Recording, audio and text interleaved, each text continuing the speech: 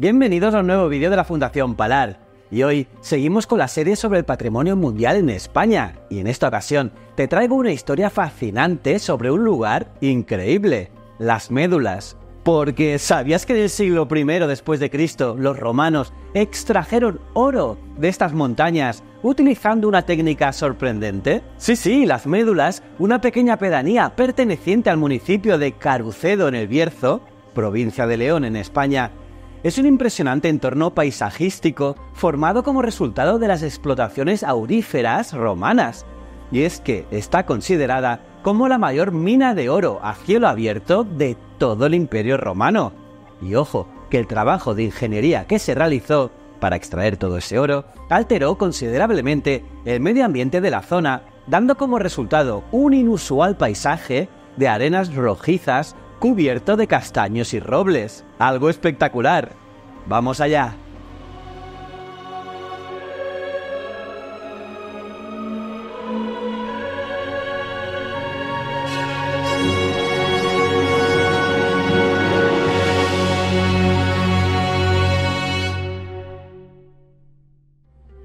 Antes de adentrarnos en los detalles técnicos y visuales de las médulas, es esencial que comprendamos el contexto histórico de esta explotación minera. Y para ello nos trasladamos al siglo I después de Cristo, una época en la que el Imperio romano estaba en su máximo esplendor, extendiendo sus dominios por gran parte de Europa, Asia y el norte de África. Pues bien, la región noreste de España, conocida como el Bierzo, no escapó al interés de los romanos, especialmente debido a sus ricos yacimientos de oro. El emperador Octavio Augusto, quien dirigió personalmente gran parte de las campañas de conquista en la península ibérica entre los años 26 y 19 a.C., reconoció el potencial de estas tierras y fue durante su mandato que se intensificaron las operaciones mineras en esta zona. Y a pesar de que los pueblos indígenas preromanos ya habían explotado los yacimientos mediante técnicas más rudimentarias, los romanos introdujeron métodos avanzados y organizados para maximizar la extracción de oro. La minería en las médulas proporcionó vastas cantidades de este preciado metal al imperio e impulsó el desarrollo de tecnologías innovadoras y complejas como la famosa técnica de ruinamontium. El término ruinamontium literalmente significa colapso de montañas. Este método empleaba la energía hidráulica para desmantelar grandes secciones de la montaña y extraer el oro contenido en sus entrañas. Y ojito, que la magnitud de esas operaciones era tan impresionante que Plinio el Viejo, escritor y militar romano, documentó que se extraían anualmente alrededor de 20.000 libras de oro, lo que equivale a aproximadamente 1.635.000 kilos. Sí, sí, y en un año, este oro fue esencial para acuñar monedas y financiar las numerosas campañas militares y proyectos de infraestructura de Roma. Y es que las médulas fue en esa época un pilar económico fundamental para ellos. Aparte, la logística y la organización detrás de estas explotaciones eran igualmente impresionantes. Se estima que alrededor de 60.000 obreros, aunque algunos estudios sugieren cifras más modestas de entre 10.000 y 20.000 hombres, trabajaron en las minas de las médulas. Mucha gente, ¿eh? Estos trabajadores incluían tanto a la población local como a esclavos y soldados romanos, y todos ellos contribuyendo a este gigantesco esfuerzo minero. Por lo tanto, las médulas, en su apogeo, aparte de ser un sitio de explotación mineral, era una comunidad completa con aldeas para los habitantes indígenas y el personal administrativo imperial. Por ello, existían infraestructuras esenciales como una calzada romana principal y numerosas rutas menores que facilitaban el movimiento de personas y recursos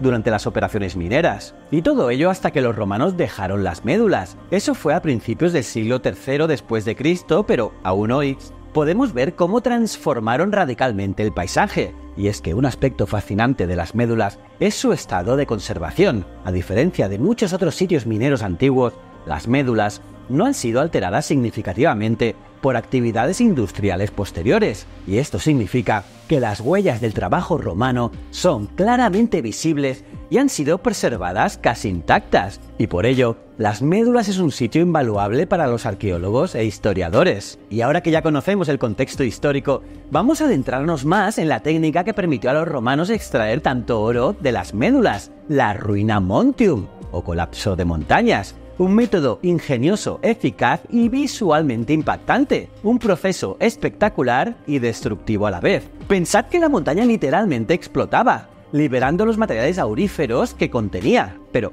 vamos a descubrir cómo funcionaba. Imagina esto, estás en la cima de una montaña rodeado por enormes embalses llenos de agua. Un agua que proviene de ríos, manantiales y la acumulación de nieve derretida y de la lluvia. Pues bien, los romanos construyeron una compleja red de canales que transportaban el agua desde estos embalses hasta las minas situadas a varios kilómetros de distancia. Y estos canales son una obra maestra de la ingeniería romana. Construidos con una precisión increíble, los canales se extendían por más de 300 kilómetros, aprovechando las curvas de nivel del terreno para mantener una pendiente uniforme. Esta pendiente de entre el 0,6% y el 1% era crucial para asegurar que el agua fluyera de manera constante y controlada. Y algunos tramos de los canales eran excavados directamente en la roca, creando túneles y acueductos que demuestran la habilidad y el conocimiento técnico de los ingenieros romanos. La construcción de estos canales fue una tarea titánica.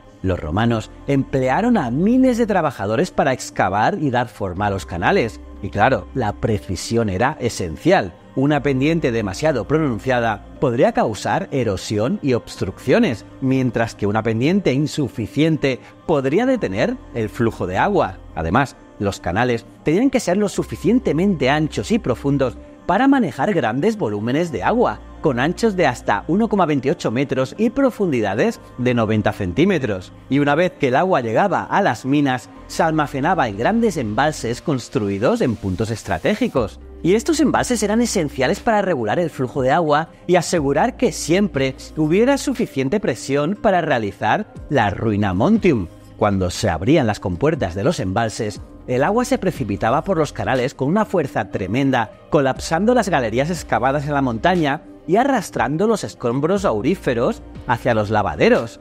Después, en estos lavaderos, el agua se desaceleraba, permitiendo que las partículas más pesadas, como el oro, se asentaran en el fondo. Y el material no deseado, conocido como estéril, era arrastrado a áreas de relaves. Y este proceso de separación era laborioso y requería una gran cantidad de mano de obra. Además, este método era peligroso, ya que los trabajadores tenían que asegurarse de que las galerías estuvieran bien diseñadas para que el colapso controlado no se convirtiera en un desastre. Y por si fuera poco, una vez que el oro era separado en los lavaderos, los obreros debían recogerlo a mano, lo que requería una gran habilidad y precisión. Además, esta red de canales no solo servía para la minería, también tenía un impacto significativo en la vida diaria de los habitantes de la zona, ya que los canales proporcionaban agua para el riego de cultivos, el suministro doméstico y otras necesidades. Y esto ayudó a establecer asentamientos estables y prósperos alrededor de las minas,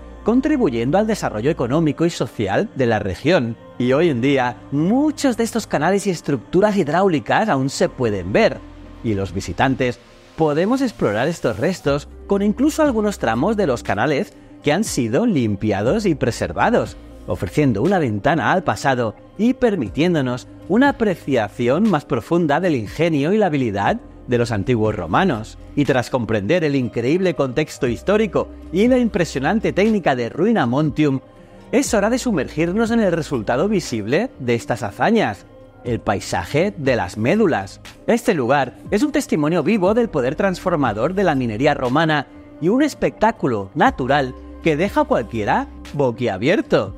Imagínate un vasto entorno donde el color rojizo de las tierras y las formaciones rocosas contrasta con el verde exuberante de los castaños y robles. Y claro, este paisaje no es obra de la naturaleza, no, no, es el resultado directo de dos siglos de explotación minera romana. Las paredes escarpadas de las montañas, las profundas grietas y los grandes montones de relaves son huellas indelebles de la ruina Montium, y es que el área principal de las médulas, inscrita en la lista de Patrimonio Mundial, abarca más de 2.000 hectáreas, y aquí se incluyen las minas, las vastas áreas de relaves y los intrincados canales de agua. Estos canales que una vez llevaron aguas a las minas ahora serpentean a través del paisaje, algunos de ellos aún visibles y accesibles, y los relaves esas vastas áreas de desechos mineros se han convertido hoy en fértiles terrenos agrícolas, y uno de los elementos más impresionantes del paisaje de las médulas son las paredes escarpadas de las montañas. Estas formaciones rocosas, talladas por la fuerza del agua,